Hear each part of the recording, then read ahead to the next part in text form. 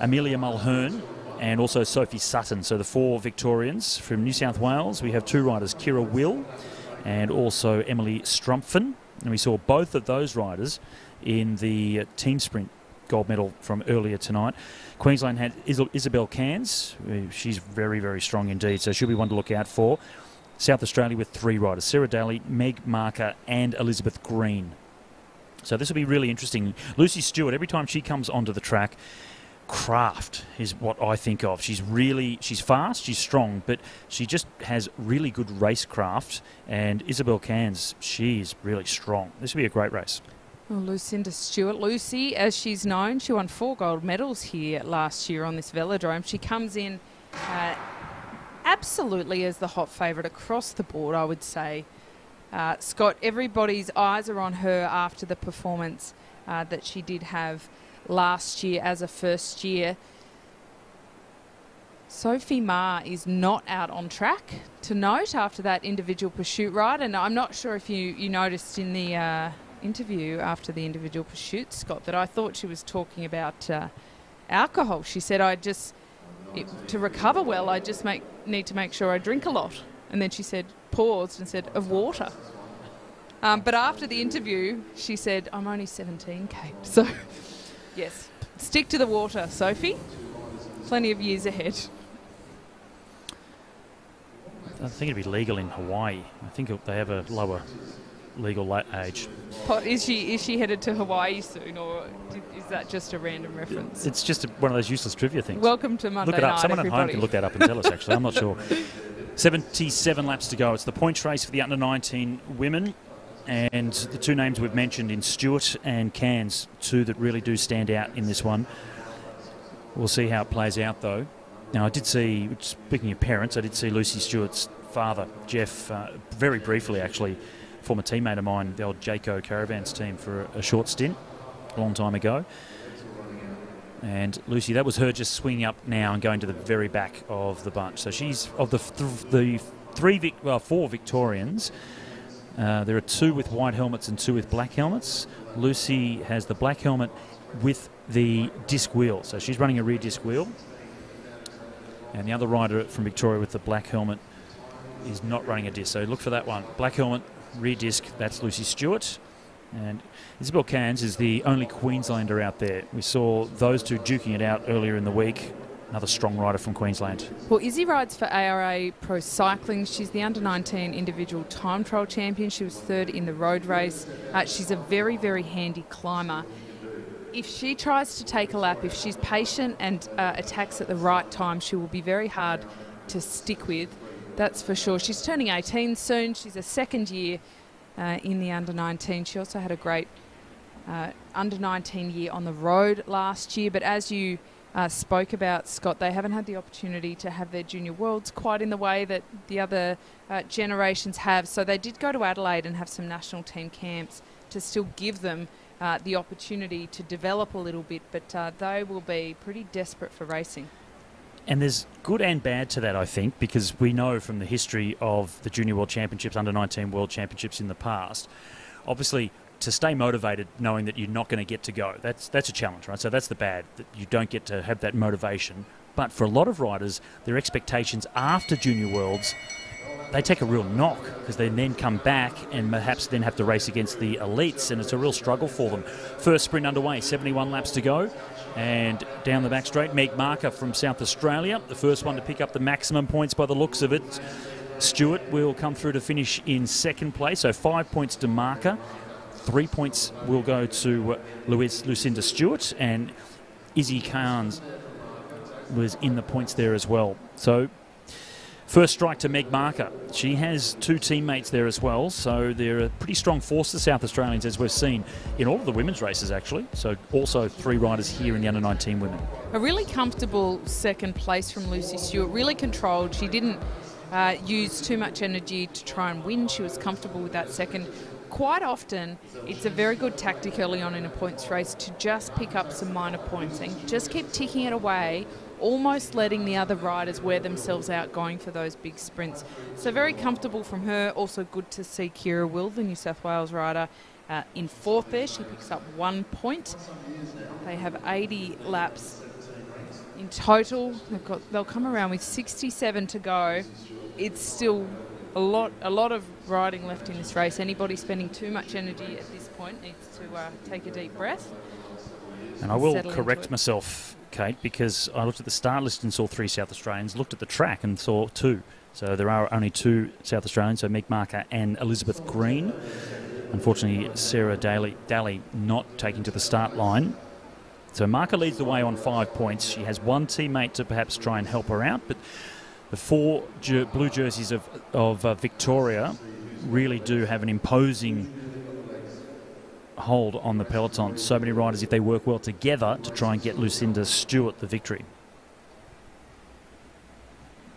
Well, it is a very heavy program, so it's hard for all of the riders to continue backing up uh, for all the events. So we have seen both Sophie Ma and Sarah Daly missing. They're two names you would normally uh, think could definitely uh, be very prominent in this kind of race, but they went gold and silver in the individual pursuit. Sorry, gold and bronze, uh, and that was quite quite a big race for them doesn't it's not surprising that they're a bit worn out already at this point in the program. And with Sarah from South Australia on the podium, on the your program itself, I know that's caused a few little issues actually because she didn't take to the start line. And we saw Brianna Hargraves line up in the women's scratch race the other night, which surprised me because she's here as a pure sprinter. And then she rode the first half lap and just pulled out. And she told me that she wasn't supposed to do the scratch race. The state manager had entered her in it, and because she was on the start list, she had to line up, um, otherwise risking a fine or relegation from the rest of the competition. So that's why she just started and pulled out straight away. Well, I wonder if they've addressed that though, Scott, because there has been a little bit of chitter chatter. Um, I will say, as I've been walking around in the centre, people a little bit discontent with that one. They'll come around for another sprint and get the bell. 61 laps to go, and it's Belinda Bailey on the front for Victoria. Two Victorians, in fact, and Bailey the first one out of the saddle as she comes down the back straight. Strong rider. I saw her at the uh, Bay Classic Criterium Series earlier in the year at the start of January. She's going to try and hold on for the points here. She's not going to quite do it, though. Over the top was Sophie Sutton. So Victoria first and second in that one, but it was Sophie Sutton that comes away with the five points. Three points go to Belinda Bailey. A lot of effort there from Belinda Bailey. Unfortunately, not pulling it off. Quite a noticeable gear difference too. Um, by gear, I don't actually mean the gear ratio. I mean just the wheels, actually, the setup there. So, uh, Belinda Bailey without a disc wheel or a five spoke or a deep dish, even, which is quite different to most of the other riders out on track. And that does make a difference, doesn't it, Scott? They're not just for show. It makes a very functional difference when they're sprinting. Certainly makes a difference to your bank balance as well. It's the other challenge. They're so expensive now, aren't they? Looking at three to four thousand dollars, perhaps even a tad more for a disc wheel. Haven't seen, seen the price of disc wheels for a long time. Actually, might be used to be standard was around about four thousand oh, dollars. Might be more now. I just assume a lot, Scott. But uh, fair to say that most of the riders are supported by their state teams and state academies, uh, and usually not riding their own gear, uh, which is good because even if you did have the budget to fork out for that expensive equipment, a fall and a ruined wheel could uh, be financially very devastating. So they tend to pull those resources uh, and have team equipment. Meg Marker was in the points as well after winning the first sprint, so she was third in the second. She leads overall, seven points ahead of Sophie Sutton on five after getting the five points in that second sprint. Lucy Stewart, she sits in equal third on three points with Izzy Cairns and also Belinda Bailey. Kira Will, she's the only other rider with a point, and then one single point, she's in sixth place. Well, she she could still move up the uh, the onto the podium there, Scott. When the, where there's a will, there's a way. Come on now, nothing really, nothing for that. Oh, Scott, goodness me. Interesting to me, Scott, is that the pace isn't on, but the pace isn't off. They're in this interesting halfway where they are all just rolling around the bottom. Nobody really particularly wanting to take responsibility to keep it fast. This is still pretty ripe for an attack if somebody were to uh, go high and wide and, and uh, really hit them pretty hard when everybody is just ticking along. Well, Meg Marker, she is a fast sprinter, and the more they ride around like this, the more it favours the pure sprinters recovering between each of these efforts. There are 53 laps to go now, and as long as they keep backing off in between all the sprints, Marker might be able to pick up all the maximum points now. An attack coming from Carnes. So Izzy Carnes I think she looked up and thought it was coming around the bell, but then realised 52 laps to go. So next lap will be the bell. And Carnes is going to find herself lobbed right on the front. Perhaps doesn't want to be right there. And look at all those blue jerseys lining up. Here comes Stewart around the outside. Three wide for the Victorians. Out in the wind. That's going to cost Stewart a little bit of energy as well. Cairns now. One lap to go. It's 51 laps. And here she goes down the back straight. Lucy Stewart, look over the shoulder. She looks comfortable. Wait for the attack to come from Stewart. Here it comes now. Little bit of a flick from Carnes. And Stewart up around the outside. She'll get the five points. Carnes holds on for second. There's Marker again. Might have only been the one point though, so not a great sprint from the South Australian, the current overall leader. But that was just delightful from Stewart there. The control was sensational. She really uh, never went too far outside her comfort zone. Look at the difference in body language uh, between Carnes and Stewart there. Carnes threw everything into that. She would want to have a good wheel for the next couple of laps because, look, you can even see her shoulders starting to drop. Well, in fact, they're going the opposite direction. It's her head dropping and her shoulders uh, lifting up to almost cuddle her ears in there. Uh, that's kind of when you're that tide's gotten you tend to lock out your elbows because you think it will take a little bit less energy. Uh, so I'm definitely watching to see if Carnes can get a bit more recovery here.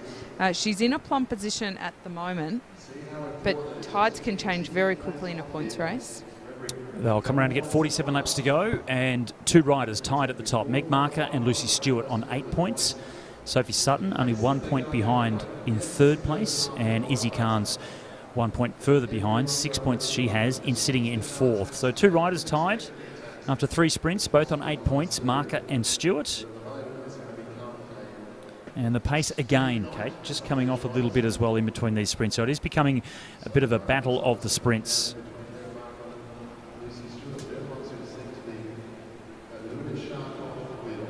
Well, they definitely aren't uh, looking to be too aggressive. We haven't had a single earnest attack at this point.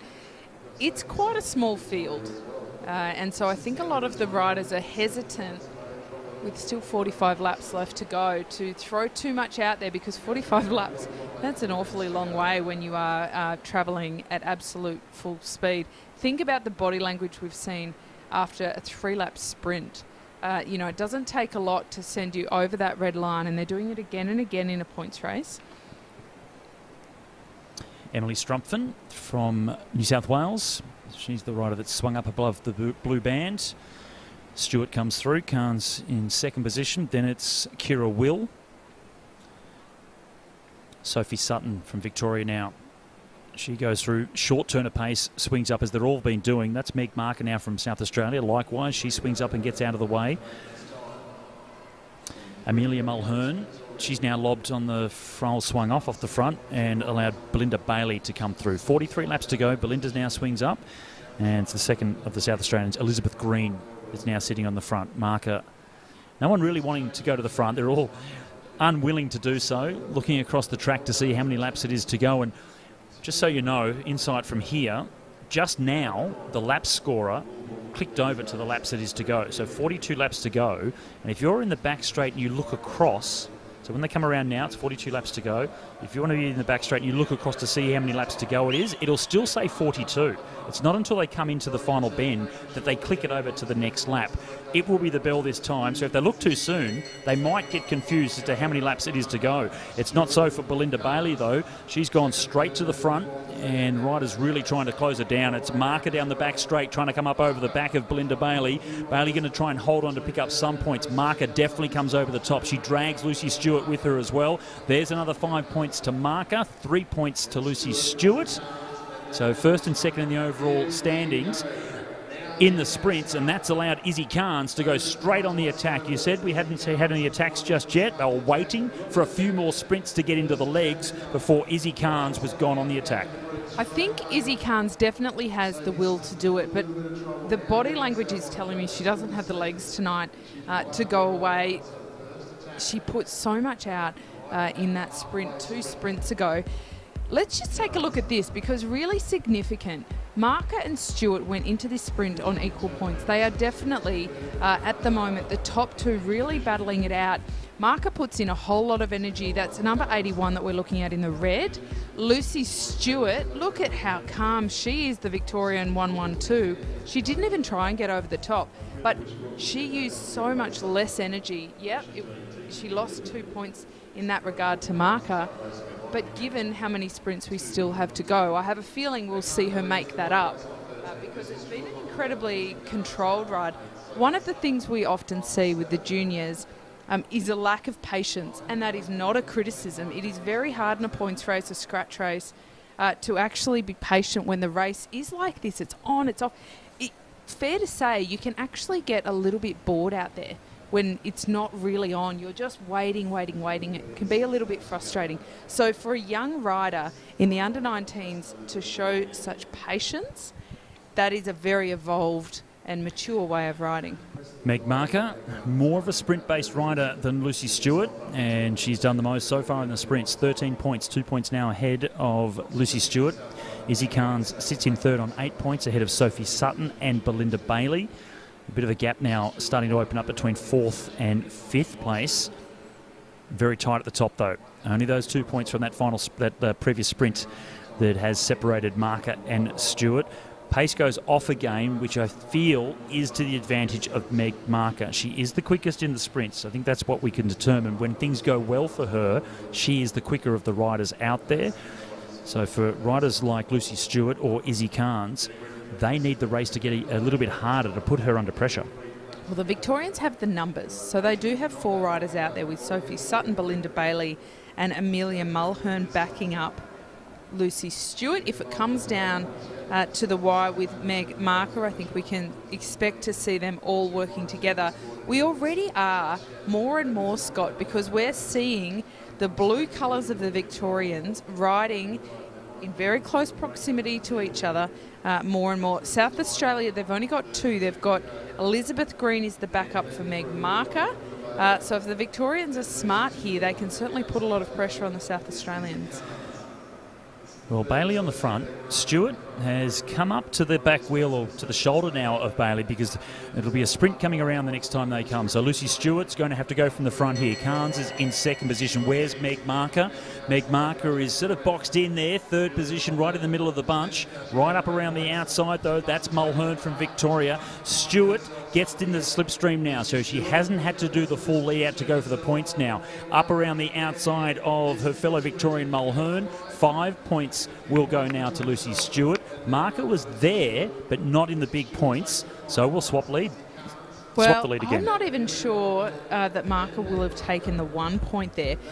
Smart riding from the Victorians, but for a moment it looked as though Mulhern was actually going for the sprint on her own and not, in fact, leading out um, Lucy Stewart. And I thought, what's going on here? We actually need to be a bit more organised. But it played out perfectly uh, where Mulhern actually was in the position of separating some points. So Carnes uh, took the second place points there, holding on very uh, tightly at the moment to that third place on the podium. And for Marker, that meant she only got one point, uh, which did make that gap now between she and Lucy Stewart.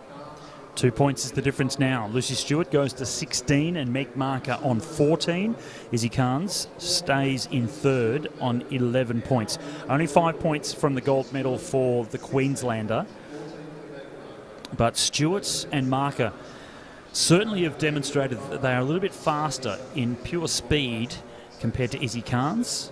So she'll need to do something pretty special, the Queenslander, if she's going to give herself anything more than the bronze medal that she sits in at the moment. Now, I understand, Scott, that uh, Meg Marker is actually on loan to South Australia from the Northern Territory, a proud Territorian. So we'll give a shout out to that because we don't have uh, too many representing from the Northern Territory. Historically, actually, um, fair to say they've been reasonably underrepresented. Uh, so we will make sure uh, that we half fly that flag for her uh, out there. But Meg Marker she looks more comfortable now. She the last sprint she won, uh, she had to muscle her way to do that. The last sprint, she only got one point, but it did allow her a little bit of a chance to uh, sit behind the wheel in a bit of a draft and get a bit of recovery. The body language is much better. She's looking a lot more comfortable. And as you mentioned, she's definitely uh, the swiftest out there. But Carnes and Lucy Stewart both come with exceptional ability to go long. Carnes is the under 19 uh, national time trial champion. Uh, Lucy Stewart, four gold medals on this track at these championships last year. She knows how to win gold medals here, uh, and she's back and pretty motivated and very clearly on good form. The Aussie under 19 crit champion as well.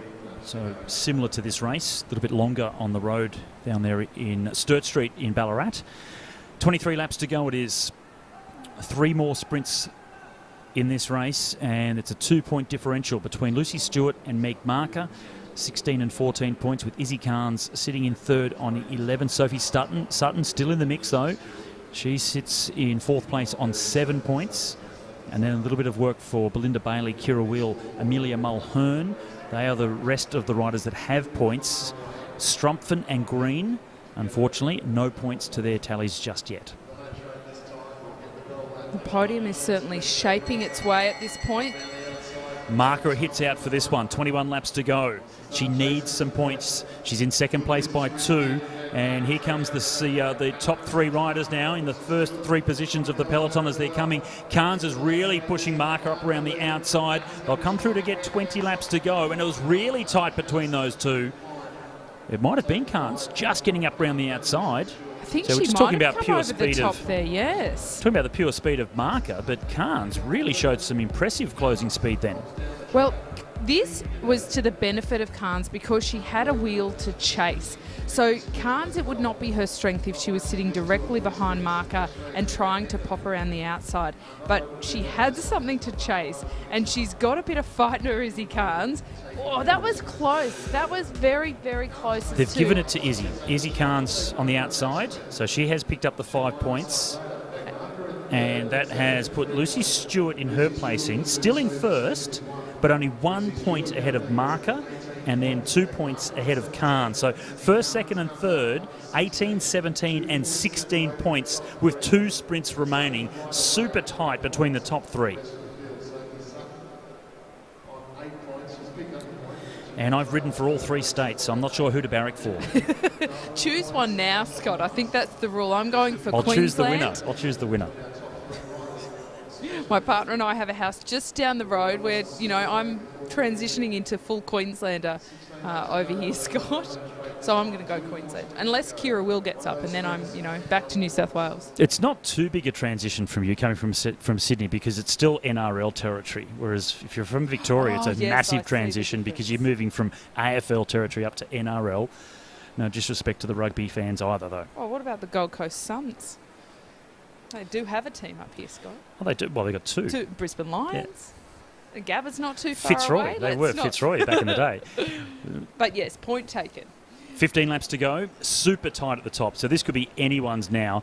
Three very different riders in Lucy Stewart, Meg Marker, and Izzy Carnes.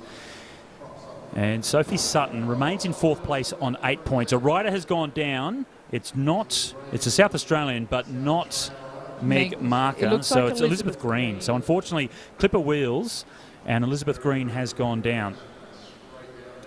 Yeah, that was unfortunate. Every time we're hearing a noise now, Scott, we're a bit jumpy after the uh, the first night. There were a few incidents.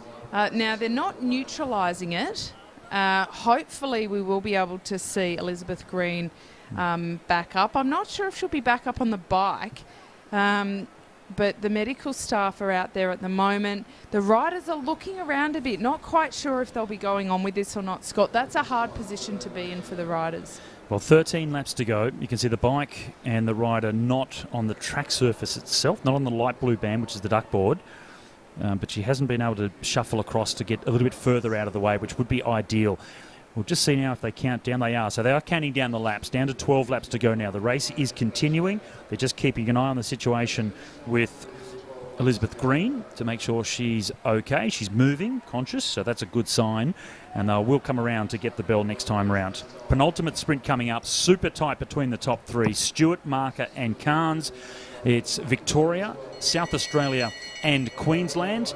And here we go, 11 laps to go, and it's Meg Marker that's leading the way. On the outside is Lucy Stewart. There's Izzy Carnes on the inside. So Carnes muscles her way into second position, but it was a pretty cruisy couple of laps. That could be to the advantage of Meg Marker. Has she freshened up enough to get the points in this one? It looks like she might, but here comes Carnes over the top holds on this time on the inside. So the same sprint as what we saw last time, but this time Meg Marker was able to hold on to get the maximum points. That'll put her back into the lead that was a good sprint between those pair. The rider that I want to point out, Scott, is number 112, uh, Lucy Stewart. And now, if you're watching that sprint, you'll notice she's just sitting in third. She does not use her horsepower because we've seen her accelerate past. Uh, at this point, she backs it off a little bit. It's double points coming up. They've, they'll come around with nine laps to go, but when they get the bell, it is double points any of those top three, Meg Marker is currently leading on 22 points, Lucinda Stewart on 20, Isabel Carnes on 19, but anybody can win. And I have seen a yellow flag be given as a warning to Izzy Carnes. So I just saw uh, Tony Tor, the chief commissaire, hold up a yellow flag and the race number 53. So Izzy Carnes getting a warning for perhaps rough riding then, and I would imagine it was unintentional if that was the case. But uh, Izzy Carnes on a warning. She needs to be careful oh, to not infringe. I think she's got pretty sharp elbows and a and a little bit of sass, Scott. I'd encourage it. Yeah, I'm not. I mean, she might say it's by accident, but I'm not too sure. I think it's kind of savvy. There's a very close line, isn't there, between. Uh, getting a warning and actually riding quite savvy. Now, Talon Cook actually got a warning uh, in the elimination in the under 19 men too. So it seems to me like uh, the commissaires are not letting them get away with anything. Everybody is on notice. Six laps to go, well, five and a half as they come down the back straight now. And Meg Marker leads the way on 22 points. Lucy Stewart in the silver medal position on 20. Then it's Izzy Carnes with that warning sitting in bronze on 19 points. This is still anyone's race between those top three. It's going to be a real battle with five laps to go in this final sprint as to who is going to come out on the top spot. Meg Marker with a two point buffer. It's not much. You'd want a little bit more than that, but it's not a super long points race, so it's hard to get a big lead over these riders. It really is. And, and when it is only 80 laps like this, this final sprint with double points is so heavily weighted and of such significance that truly, at this point, any of those top three can win. Sophie Sutton could get herself onto the podium uh, if Khan, if she won and Carnes didn't get uh, a point. But we are looking for Marker, Stewart, and Carnes, number 81, number 112, number 53, and three laps to go. This is I've got a theory on all of them on, on how all of them can win, but I think that Lucy Cinder Stewart has been sitting back and just waiting. They'll come around to get two laps to go. Forget about everything that's already happened. It comes down to this final sprint and two laps to go. Victoria come through to lead the way. Amelia Mulhern, right on her wheel is Izzy Carnes from Queensland. And a big move coming from right behind with Belinda Bailey trying to pick up some points as well. She sits in fifth place on three points. But Carnes is, is able to get onto the wheel. Lucy Stewart's trying to come over the top of her. Bailey leads into the final lap. A real fight, though, between Queensland and Victoria with Izzy Carnes coming up around the outside. Lucy Stewart's in second position. Still a lot of track to go to get to the finish line. High on the track is Stewart trying to come up over the top of Carnes. Carnes might not, no, she can't hold on. Lucy Stewart comes through to get the final sprint. That's the double points for her. That will give her the national title. That a girl. I could see, I could just see her in that penultimate sprint, Scott, just backing off that tiny little bit, that can make the massive difference. And sensational help from her teammate there in Bailey, Belinda Bailey, just setting it up perfectly. Izzy Carnes, I would normally say that she's time trialist, very good sprinter, um, very good climber, but this sprint is sensational. Lucy she got there, but only barely, Scott. That wasn't by any means an easy one. We can see the slipstream with Bailey. I'm not sure she was actually trying to help out Lucy and rather go for the points herself, but it did set Izzy Carnes up well to get into the slipstream. It was just the superior speed of Lucy Stewart to able to get around the outside.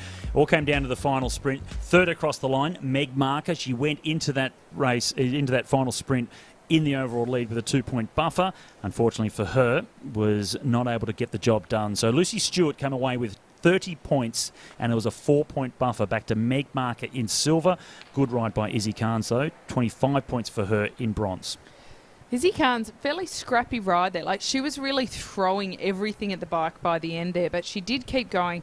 A little bit unlucky almost to not take that silver uh, after that performance in the final sprint, but absolute uh, credit to Lucinda Stewart. Very, very controlled ride, very mature ride.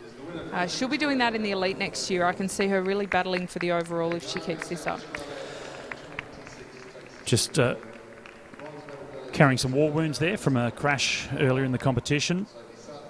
And every time Lucy comes onto the track, we always talk about her tactical nous. She has really good race craft, and she really needed that it was such a good competition between Meg Marker, Izzy Carnes, and Lucy that she really needed to use all of that craft to come away with that final sprint win to get the overall victory in the under 19 women's points race. So well done to both Marker and Carnes, and good on Belinda Bailey for having a crack as well, trying to go for those final points. The points races are just absolutely cracker this week. We've got the uh, Omnium final coming up for the under 19 men that finishes with a points race. Their points race the other night is one of the best we've watched, so I'm pretty excited that we kind of get another go uh, of those guys. Can Cam Rogers outdo Tyler Tompkinson? Can they turn it around? Can they do enough to get back onto the podium? Uh, there's a lot of action and excitement coming up there. And I mentioned Lucy's father, Jeff, before. There was Jeff just grabbing uh, Lucy's bike coming off the track just then on the back side of the, the velodrome here, the Anna Meares velodrome. On the front side, coming up to the start line, it's the second race in the sprint for the under 19 men for the battle of the bronze medal. And this is Jaden Stanton Kerr from New South Wales with the job to do. Dylan Stanton from South Australia got the first race win. He wins this one, and it's the bronze medal. So Jaden would have been talking to Sean Eadie, the state coach of New South Wales, to try and come up with some tactics. They're pretty evenly matched in overall speed. How can we get the better of Stanton and go for the make it at least go to a best of three? And the biggest difference in that first round was Stanton rode with such confidence. They roll off the line. Stanton Kerr has to maintain the lead for the first half lap unless Stanton uh, wants to snatch it out of his hands. But so far tonight, we've seen that Stanton prefers to go uh, from the back. That is his happy place. We might see a little bit of stalling coming up here, Scott, because Stanton Kerr also, I think, is feeling that he has more confidence if he can ride from the back. You're in a bit of a, bit of a pickle when that happens, when you would feel a lot more comfortable uh, riding your own race and being able to control it that way, but you're not quite able to do that. They can't do track stands anymore, so we won't see them uh, hanging out by the fence. They do have to uh, move faster than the walking commissaire. That is the slowest pace they're allowed to go.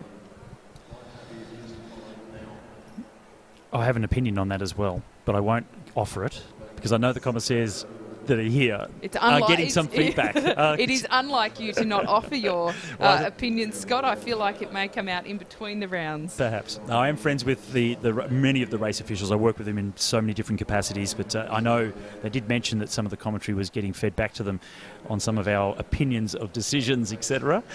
Um, hey, but that's what we're here for, to give our view on how things are going. And at the moment, we're Bit of big move from Stanton. If he wins this, it's the bronze medal, and he's gone and gone early. He's going to go all the way from here. One lap to go. I'm not sure exactly what Jaden Stanton Kerr was thinking from New South Wales because the gap has absolutely blown out. And Dylan Stanton, you can put it in the book now because he's going to get the bronze medal.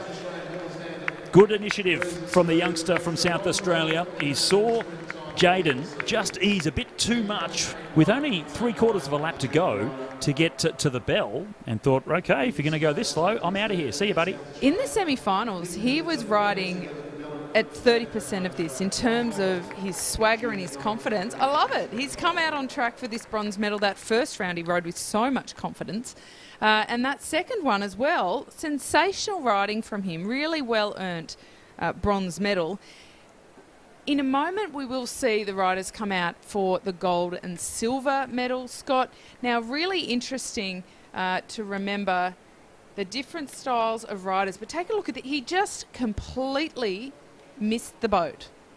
Stanton Kerr, he ju- and it was all over in that moment. He did valiantly fight, perhaps thinking uh, that he might close down some distance. He did not even close down a metre. At that point, I think he was thinking that maybe there's a chance that the roof will open up and he'll get struck by lightning. It was the only way he was going to get. Whole. The only way he was going to gain the win over Stanton in that case. So good tactical riding from young Dylan Stanton. Uh, not quite can be said for Jaden Stanton Kerr, but hey, he's fourth in the national championship, so a good ride to get to this point anyway.